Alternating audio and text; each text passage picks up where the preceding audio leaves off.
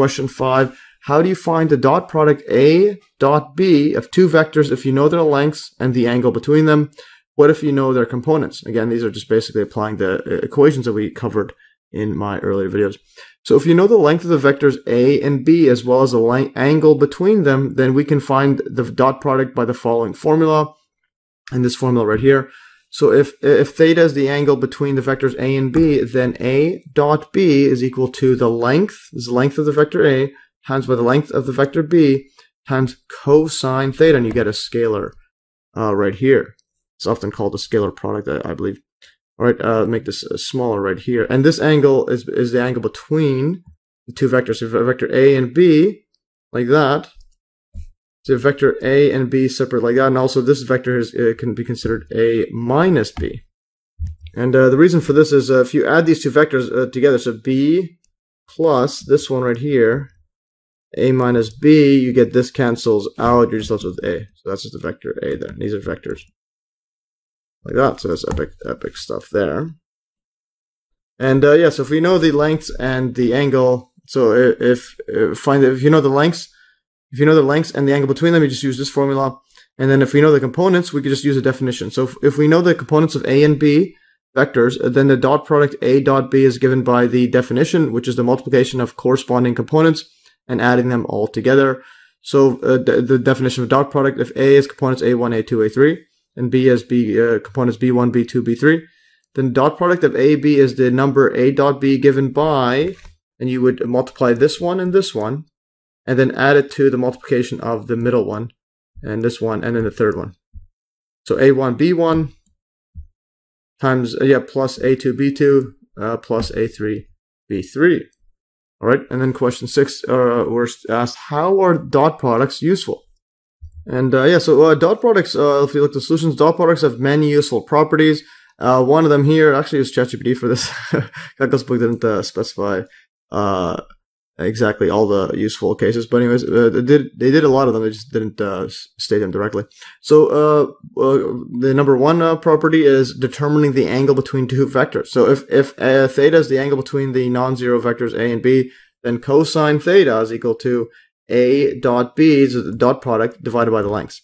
So you can determine this angle right there, cosine theta, and you can take the inverse cosine to get the angle. And is all you need to know is the dot product and the length, and you can get the angle between them. So that's very, very, very useful. And again, I'm just using the same screenshots as before for this question. So if you know these uh, vectors and a dot product, you can uh, uh solve dot product and a length. You know the lengths of them. The, this is the length right there. If you know the length, you can get the angle just by using a dot product, which is actually quite amazing. And then uh, the second property is, uh, property is checks orthogonal, orthogonality, or in other words, uh, if, its vectors are per perpendicular. So two vectors are ortho orthogonal or perpendicular if their dot product is zero. And uh, here, what I just added quickly is uh, also here. Uh, so so uh, two vectors are orthogonal or perpendicular if their dot product is zero, aka cosine 90 degrees is equal to zero.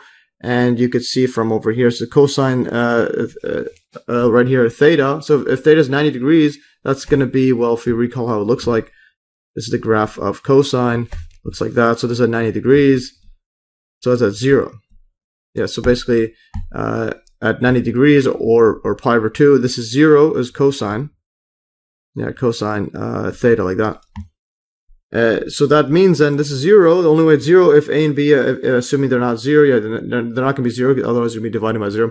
So assuming they're not, the lengths aren't 0, the vectors actually have a uh, size, these dot products going to be equal to 0. So then that's going to be for uh, perpendicular vectors. So uh, so two vectors a and b are orthogonal if and only if the dot product is equal to zero, a dot b is equal to zero. And also we could tell that if a dot b is greater than zero, uh, theta is going to be acute. And if a dot b is equal to zero, or uh, pi is equal to uh, pi over two, yeah, or 90 degrees. This is in radians, uh, yeah, or pi over two uh, radians, or 90 degrees. And if a dot b is less than zero, then the angle is going to be obtuse. And uh, we can see this uh, again as based on the cosine. So remember the cosine it looks like that. And uh, this is going to be, uh, this is positive, is, is between 0 and 90 degrees, or pi over 2. Like that. And then it goes negative uh, after that. So in other words, this angle, when angle is small, you get a dot b is going to be, has to be positive, because cosine is uh, positive. And then when it's past 90 degrees, it's going to be uh, obtuse. In other words, it's beyond angles bigger than 90 degrees. And another useful property is projecting one vector onto another. So uh, recall scalar projection of b onto a. This would be the component of the vector b is equal to the dot product a dot b divided by the length a. So again, recall from earlier videos on that. And also vector projection of b onto a. This was the scalar, and now you could do the uh, vector projection. is going to be the same thing as this, but then you multiply by the vector divided by its length, so it's just a unit vector uh, like that. So you multiply top and bottom so that you can have the direction and uh, it doesn't change the actual magnitude of the vector size like that. So projection of B is going to be, uh, yes, a vector projection. This is a scalar projection. The same thing there, component, and then multiplied by A times B. And you're going to simplify this. You're going to A dot A dot B dot A divided by uh, length squared, like that. And here are some illustrations of these vector projections, again, using dot product like that. So if you have a, a vector A, vector B, and the projection of B onto A, yeah, so uh, scale and then the scalar uh, formula is the, again using this one, and the vector is and if you get an actual direction, uh, not just magnitude, you're gonna get it over uh, over like this formula. And again, this is the vector projection of b onto a like this, and this is also uh, the absolute uh, yeah this is the length of this. You're also using the cosine.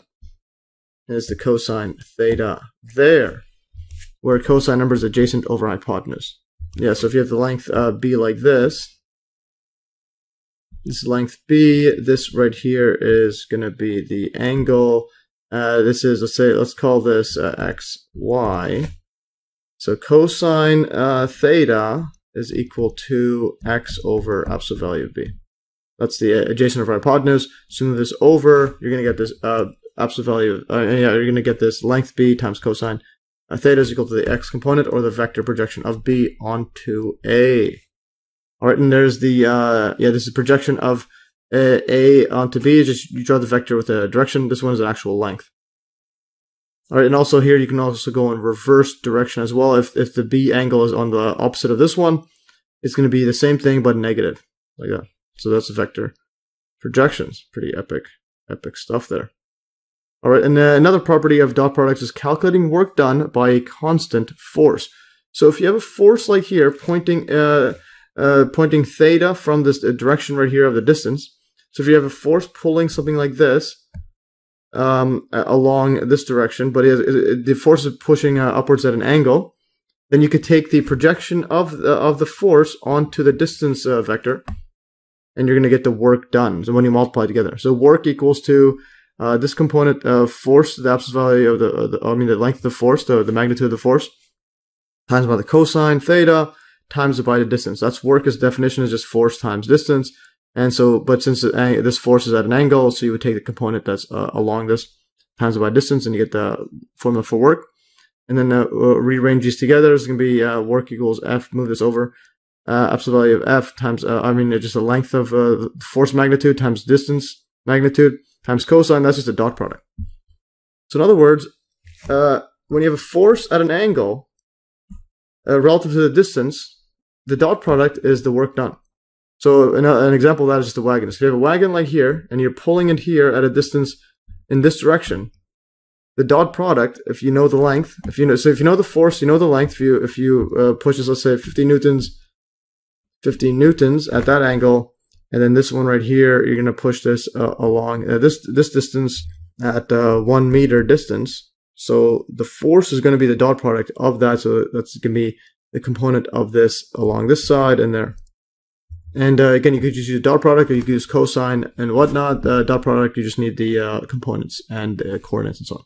So uh, these properties are very useful in many applications such as physics, machine learning. Dot product is fundamental in neural networks in measuring uh, similarity between vectors computer graphics, and engineering. And uh, here's pause video and add to this note. So this was taken from ChatGPT. There's a link to it, and go read it there and so on. It's pretty useful, Uh, yeah, pretty useful tool using AI and so on.